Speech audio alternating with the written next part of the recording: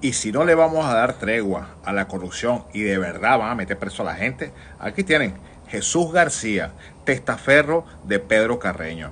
Tiene ciertos negocios turbios. Acaba de inaugurar un restaurante que se llama Marea. Pueden buscarlo por Instagram. Se encuentra en Tucacas. Basado en todo hecho truncado de negocios turbios con Pedro Carreño, el diputado Pedro Carreño. Aquí están junticos, ¿ves? Pueden ver en la foto. Pedro Carreño.